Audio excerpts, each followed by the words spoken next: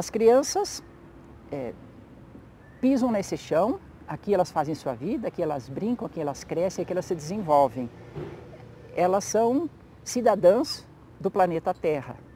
É importante que elas tenham razões para amar essa Terra, amar esse planeta e se sintam é, sujeitos dessa transformação e desse, desse, dessa volta do equilíbrio da vida na Terra, porque nós estamos em desequilíbrio.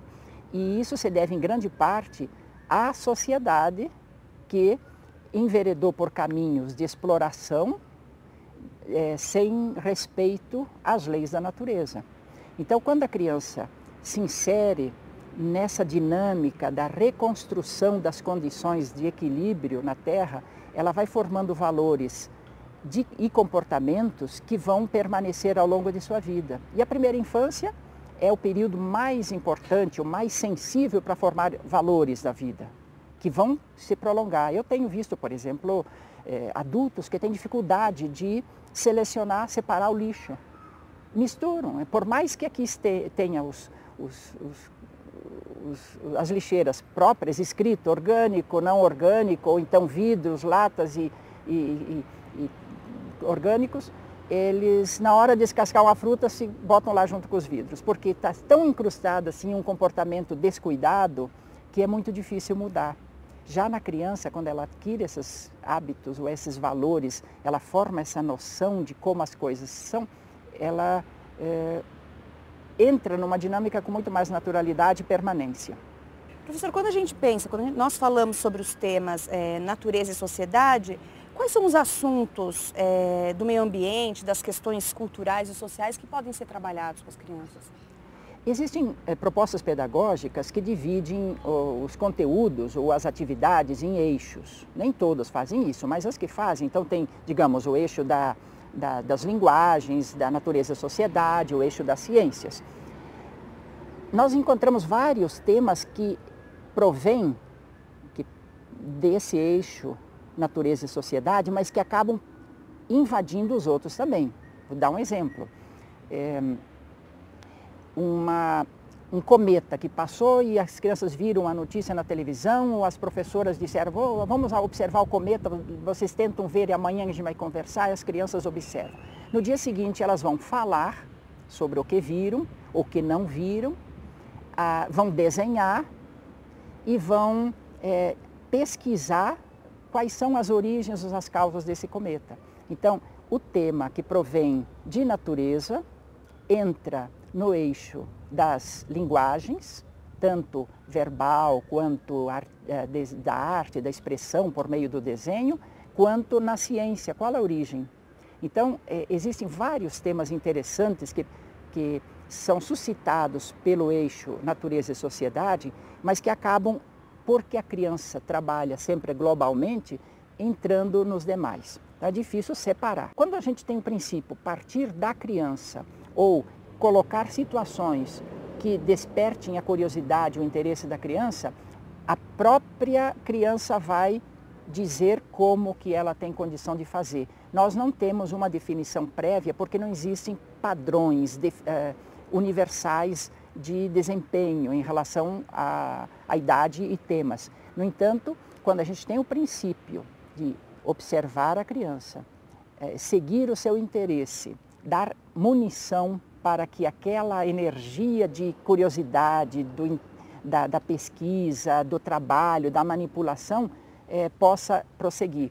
Ah, e aí a função do professor é sempre puxar um pouco mais além. No passado, as definições de currículo eram mais precisas, mais rígidas em relação às faixas etárias. Mas quando a, a, a psicologia mostrou que não existe uma, uma quebra, uma ruptura, pelo fato da criança passar de 2 para 3 anos, ou quando ela passa de 3 para 4, passa de 4 para 5, não existe assim uma mudança, é um contínuo, crescendo. Né? Então, é muito difícil que a gente tenha realismo, objetividade numa definição prévia.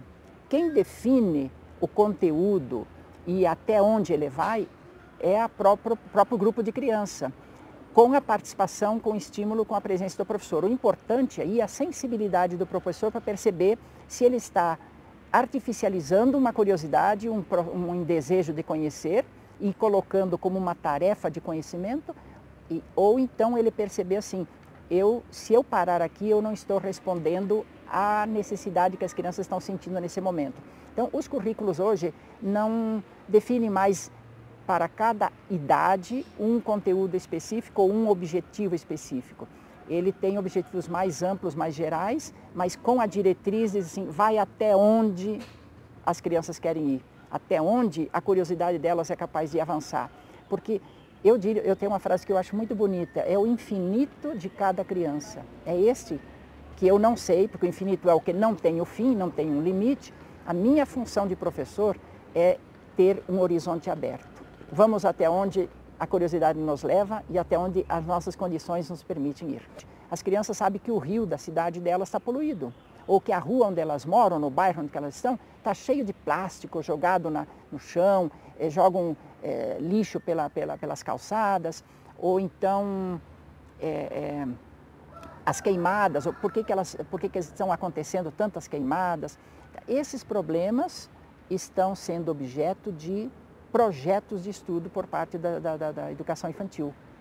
Então, eu, eu conheço assim, uns, uns projetos tão bonitos, tanto na creche quanto na pré-escola, em que os professores com as crianças vão estudar um determinado problema fotografam, conversam com as pessoas que moram ali, que viveram ou que estão vivendo aquele problema, registram isso em desenhos, é, moldam, modelam isso na parte de expressão artística e, e, e fazem um projeto de modificação dessas, dessas situações.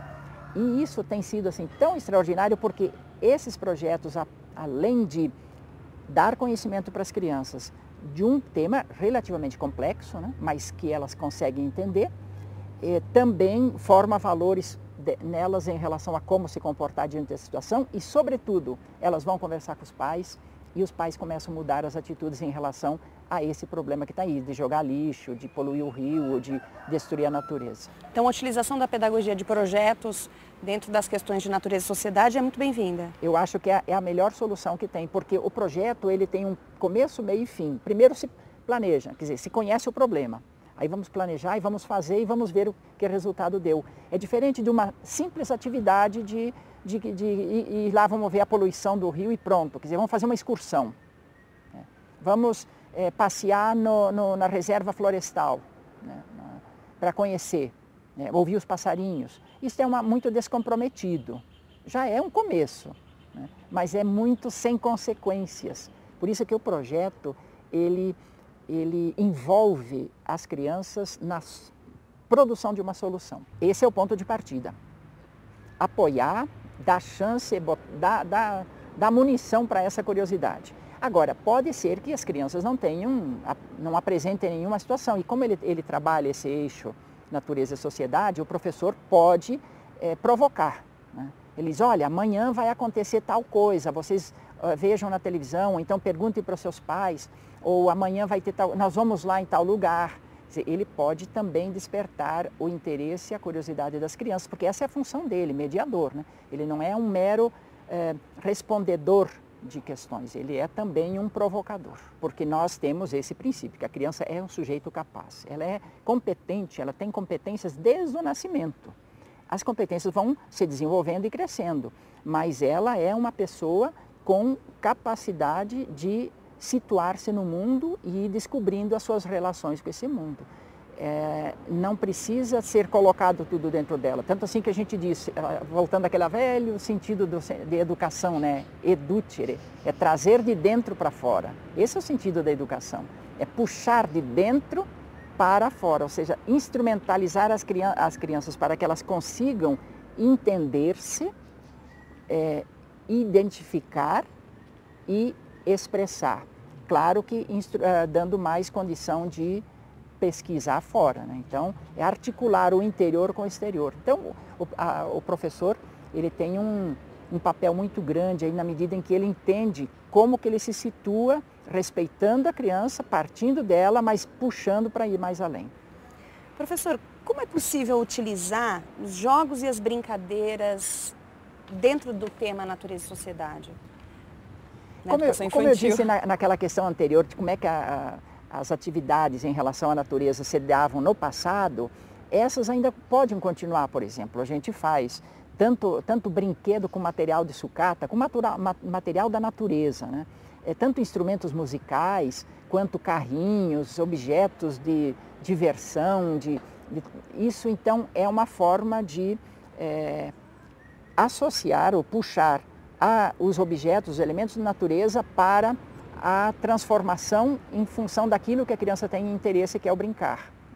Então, o próprio fazer o brinquedo com material da natureza já é um brincar. É um brincar que dá prazer, porque é um brincar criativo, um brincar de descobrir, um brincar como é que as coisas se articulam, se, se sustentam, se, se, se transformam. Então, ah, esse é um, um ponto importante. Eu diria que a gente poderia ir um pouco mais além dessa de utilização dos, de materiais da natureza para fazer brinquedos. É também brincar na natureza. Quanto mais a gente pode, puder, é, levar as crianças para o meio da natureza, tirando um pouco do cimento, dos, dos apartamentos fechados, das casinhas apertadas, do, da, da cidade sufocante, para ir para os espaços de natureza abertos, de movimento, de ouvir pássaros, de ver animais, de, de, de, de estar em contato com a, as plantas, tudo isso vai dando essa, essa familiaridade da criança com a natureza. Porque uma coisa muito ruim que está acontecendo hoje nas grandes cidades em relação da, da, criança com a natureza é que ela não tem contato com a natureza. Quer dizer, o que, que ela conhece da, de flor, Muitas conhecem a flor plástica num vaso é, de, dentro, em cima da mesa. Né? Então, ela não plantou um, um, um jarrinho de flor, uma, um, um, vasinho, não, não conhece a, como é que a semente se transforma em planta e a planta produz a flor. E, então, esse, esse é o segundo aspecto que eu acho que é importante a gente envolver, colocar a criança em contato com a natureza.